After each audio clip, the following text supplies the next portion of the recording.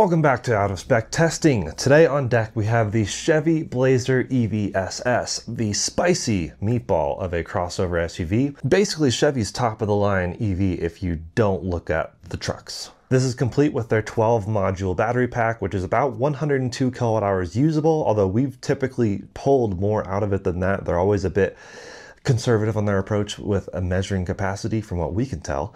So actually probably a bit more than 102, which means we'll probably also charge a bit more than 102. And that's what we're doing today, charge test time.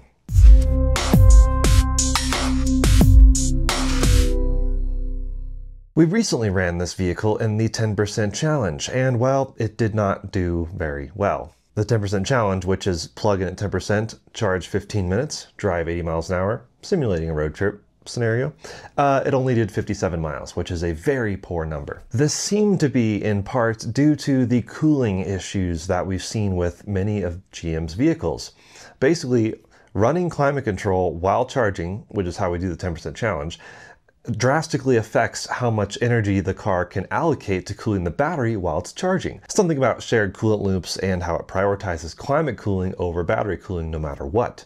GM's really proud of their AC, and it's great, really good AC. But today we have a charging test which is run with climate off, so we should see better numbers in this regard, and we're doing a 0 to 100%. That's with all loads fully off, the car fully preconditioned, and in this case we have optimal external conditions roughly 50 degrees ambient, cloudy, a little bit of rain here and there. It should charge about as good as possible. So now I will hand it off to my dear friend Cameron, who is doing the actual charging test.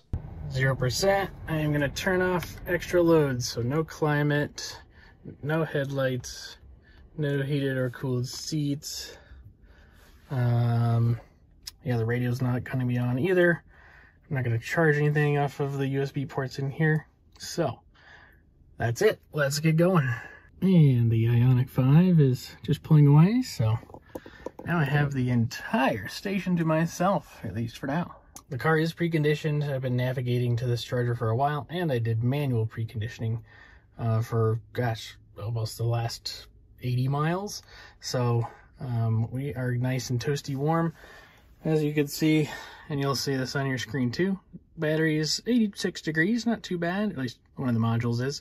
Um, we can double check to see what all the rest of them are, but at least when I was looking at this earlier, all the modules were, were within like a half a degree of each other. So um, battery is, is warm, at least warm enough to get charged, and the car thinks it's fully preconditioned. So we'll see what, uh, what it all looks like here. Here we go at 15x speed.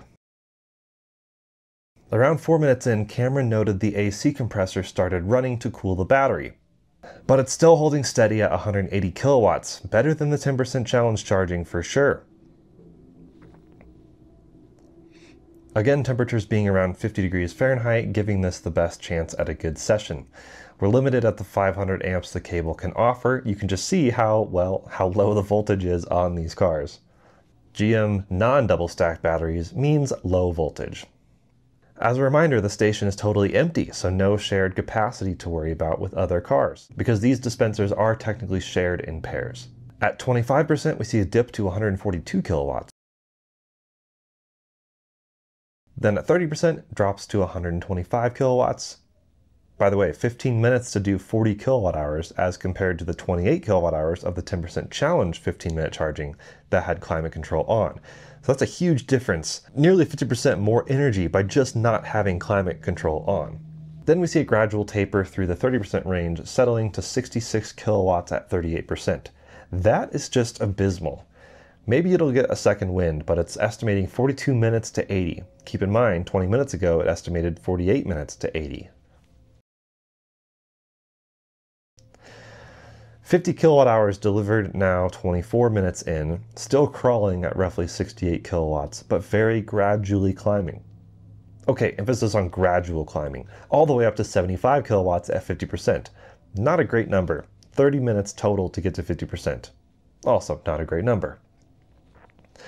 The gradual climbing continues, definitely a marathon, not a sprint for this guy. 90 kilowatts at 58%. Battery pack simply requesting more current as it climbs. Windshield wipers come on for rain, unfortunately, but help see the charger a bit, so it's a necessary evil, by the way.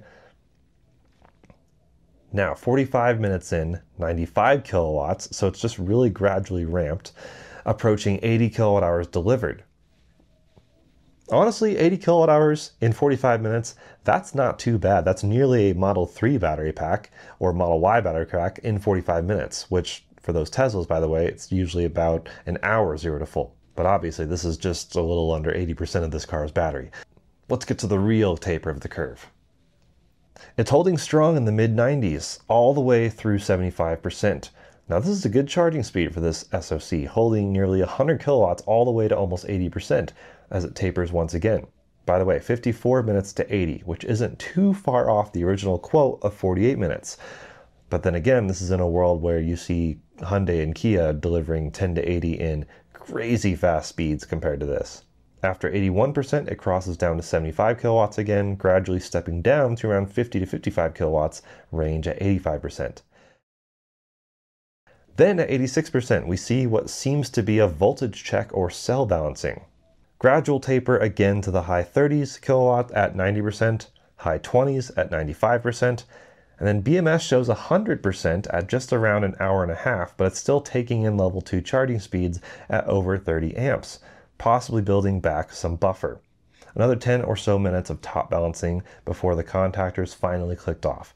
Charger still shows 99%, but it was done. So, 1 hour and 42 minutes for 0 to full 118 kilowatt hours delivered. That was what was delivered from the charger and city charge. Car never did say 100%, but I don't know if it ever will. It's doing some top balancing for the last uh, 10, 15 minutes or so. So there you go. There's our our price there.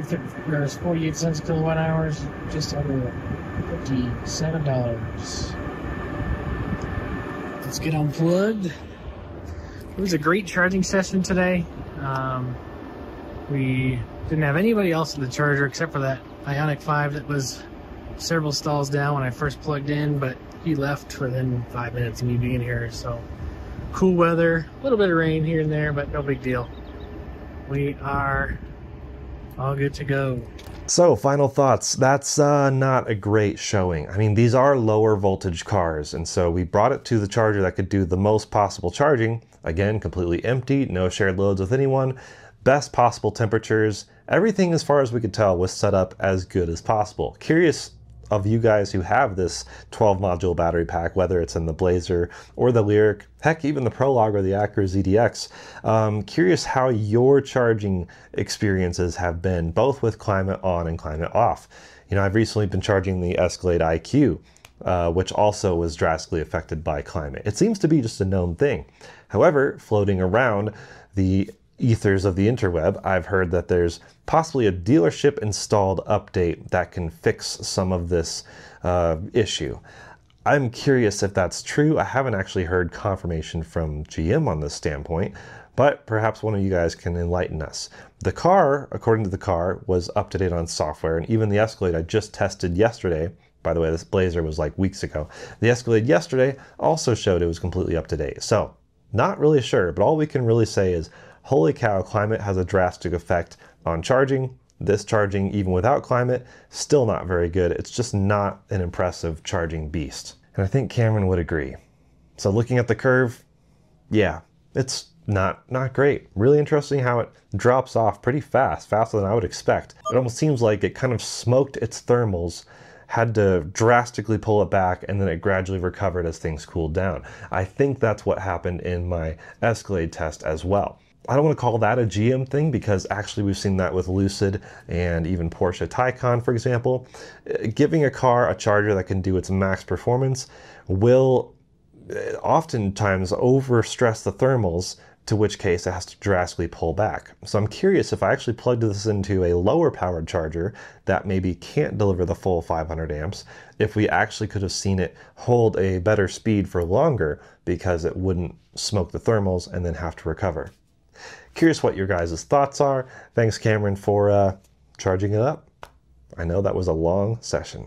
There you go, folks. Here's a successful charging test, 0 to 100% of the Chevy Blazer EV.